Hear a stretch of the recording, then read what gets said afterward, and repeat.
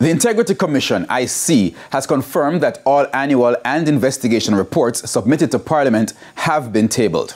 The leadership of the IC says it wanted to clarify the situation, given comments by some stakeholders suggesting reports submitted by the Commission to Parliament are yet to be tabled.